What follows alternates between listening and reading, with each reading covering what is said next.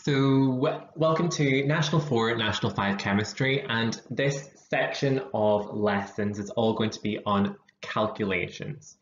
So we're going to start with going over chemical formula and work our way up to calculations known as mole calculations. So our first lesson is on chemical formula. And our aim is to understand how chemical formula are written and how to write common chemical formula from the names of chemicals.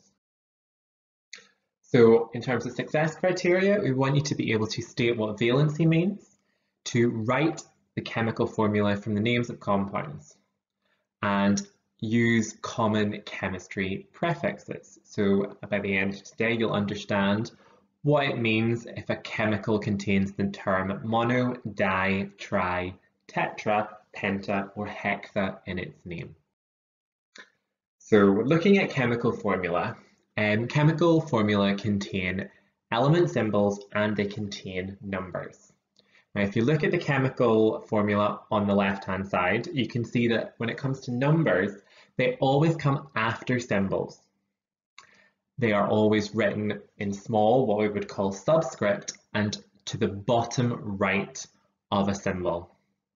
The numbers tell you how many atoms of that particular element there are, and if an element doesn't have a number after it, it means that there's only one of those atoms.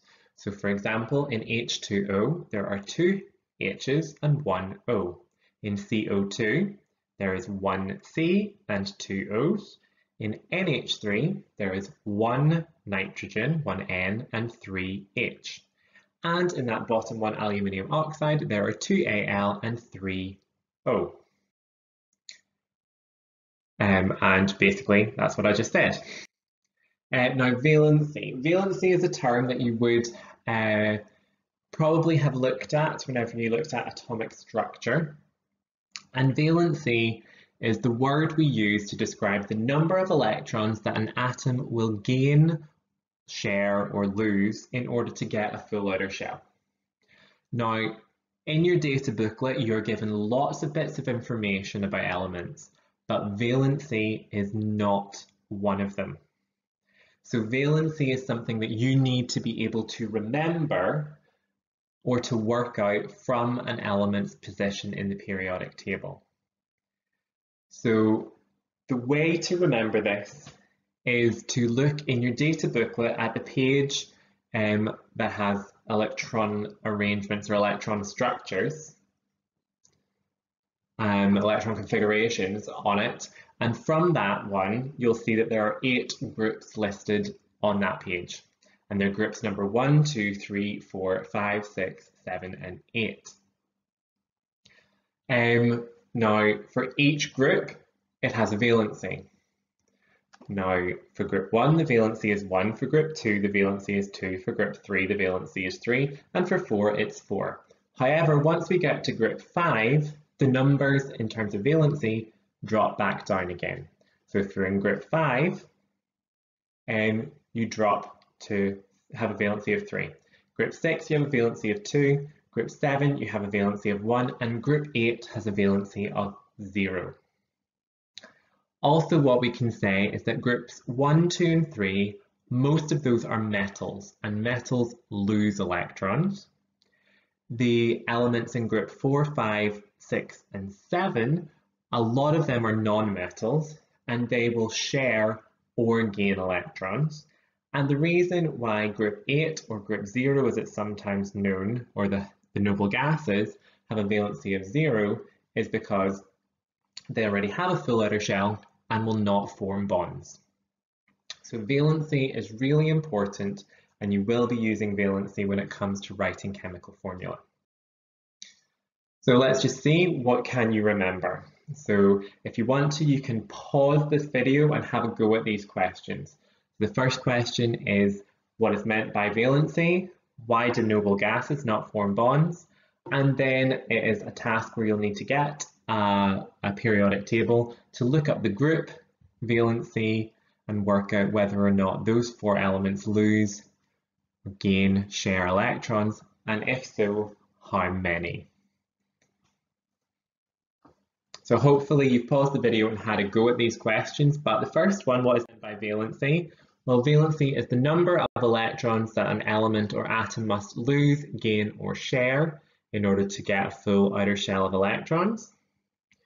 Why do noble gases not form bonds? Well, they already have a full outer shell of electrons and do not need to lose, gain or share electrons. And when it comes to filling out that table, iodine is in group 7, it has a valency of 1.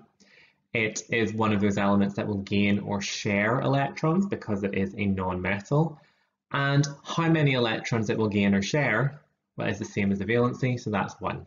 Aluminium is in group 3, it has a valency of 3. It is a metal, so it loses electrons, and it will lose 3 electrons. Magnesium is in group 2, it has a valency of 2, and it is a metal, so it will lose electrons, and the number of electrons it will lose is 2. Silicon is in group 4 and has a valency of 4. It is a non-metal, so it will gain or share electrons, and the number of electrons that it will gain or share is 4. Now we're going to look at the first type of compounds, and those are the compounds where their name immediately tells you the formula. So chemical names always have at least two parts separated by a space. Good examples, sodium chloride, carbon dioxide, iron sulfate. The first part of the name is always the element from the group with the lowest number. So for ionic compounds, what that means is that metals, which are in groups 1, 2 or 3, will always go before non-metals, which are in groups 4, 5, 6, 7 when it comes to covalent compounds, um, what you need to do is look at the positions. So nitrogen and oxygen, whenever they react, nitrogen is in group 3, oxygen, uh, sorry, nitrogen is in group 5, oxygen is in group 6.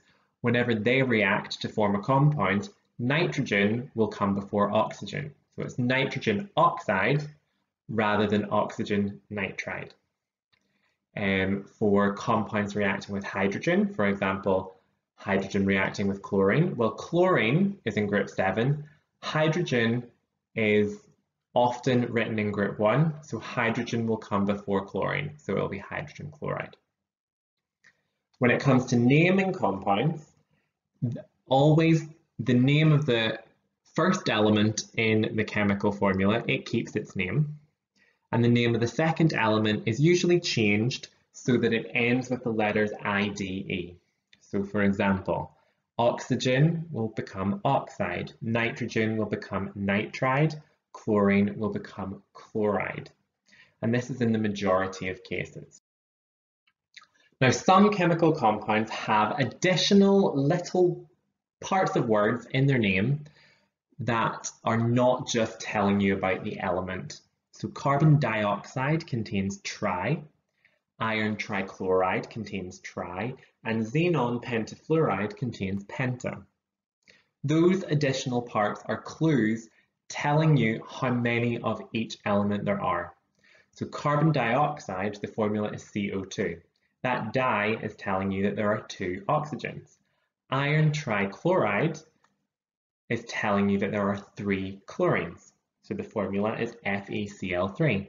And xenon pentafluoride, well that penta is telling you that there are five fluorines.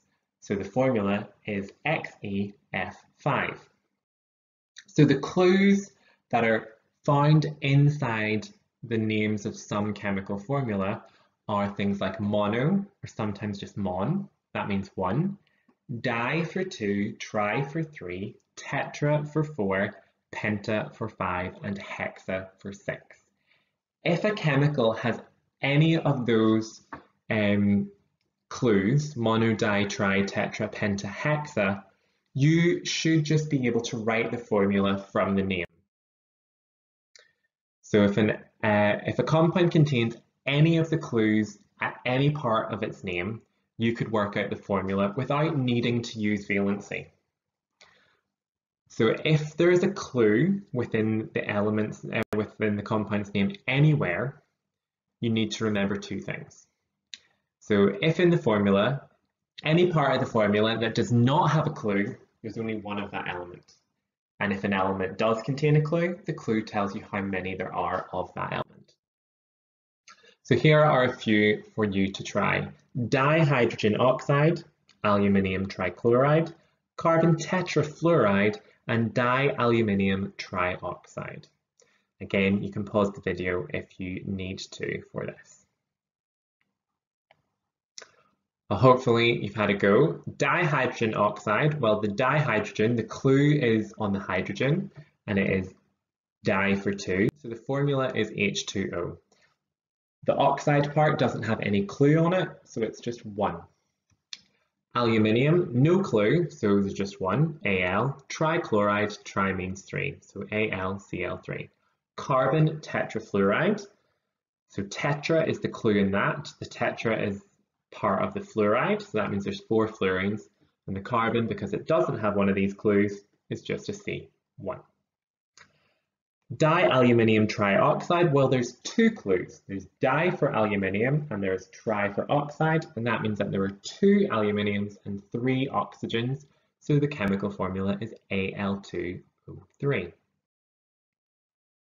Now moving on to what we're going to do about using valency. Now in this part of the lesson what we're going to do is try to understand how to write chemical formula for chemicals that end in IDE and contain no clues whatsoever.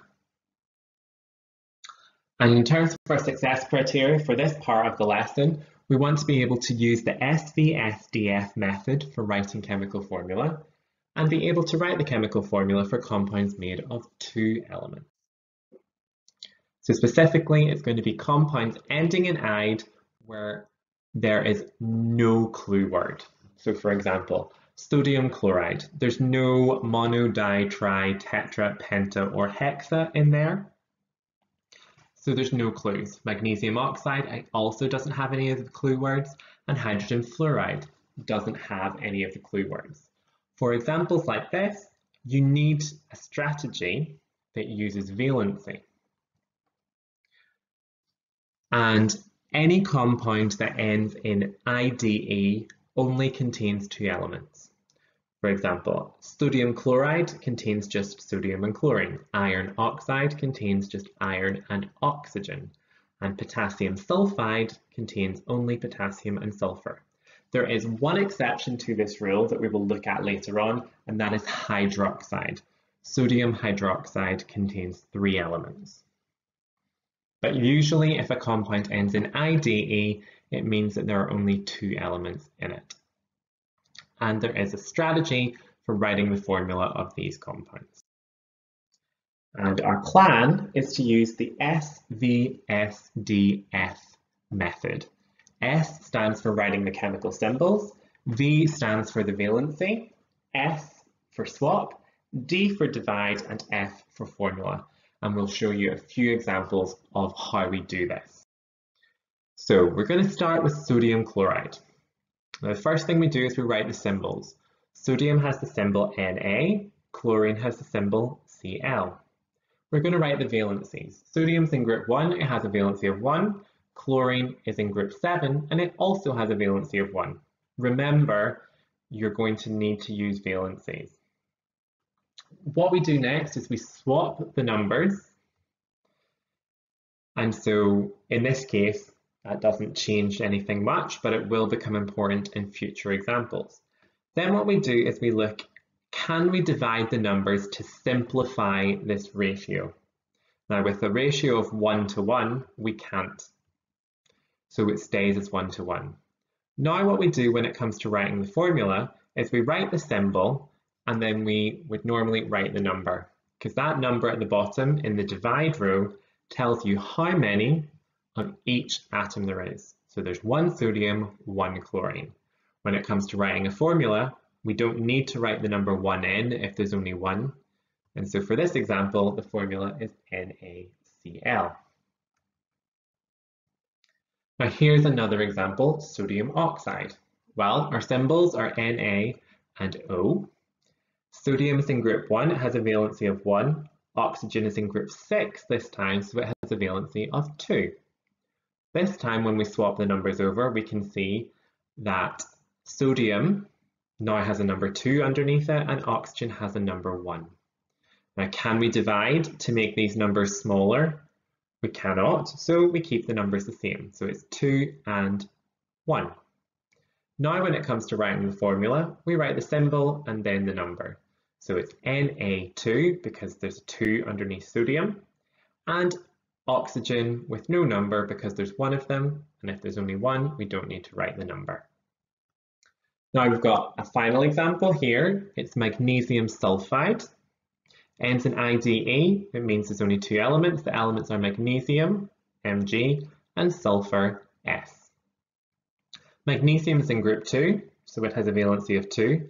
Sulfur is in group 6, so it also has a valency of 2. When we swap the numbers, um, we can see it's still 2 and 2. Now, when we ask the question, can we divide these to make them smaller, our answer is yes. We can divide each number by 2 to give us a 1 to 1 ratio. And if we can go 1 to 1, that means the formula is going to be MGS. So the SVSDF method can be used for a whole host of chemical formulas, but only for compounds that end in IDA. And, oh, we've got one final example, sorry, silicon sulfide. Silicon, Si, sulfide is from sulfur, and that's S. Silicon has a um, valency of 4 because it's in group 4, and sulfur is in group 6, so it has a valency of 2. When we swap those numbers, we end up with the silicon now having the number 2 and sulfur having the number 4. Can we divide these to make them smaller? Yes, we can.